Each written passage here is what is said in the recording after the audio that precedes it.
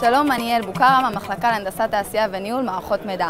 הפרויקט שאני אפיינתי הוא מערכת זיהוי ביומטרית לבקרת הנהג. מטרת הפרויקט הוא למנוע מנהגים שאינם מורשים לנהוג לעלות על הרכב. מטרה נוספת של הפרויקט הוא לשפר את אה, אופי הנהיגה של נהגים צעירים באמצעות בקרה אחר הנהיגה בתקופת הליווי.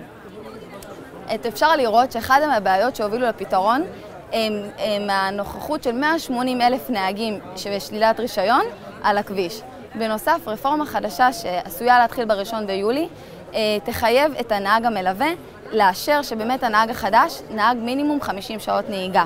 המערכת הזאת בעצם תאפשר לסכום את השעות ולהראות באמת שהנהג נהג, הנהג החדש נהג את השעות. אני רוצה לראות לכם פה את התהליך שבעצם הנהג יעבור.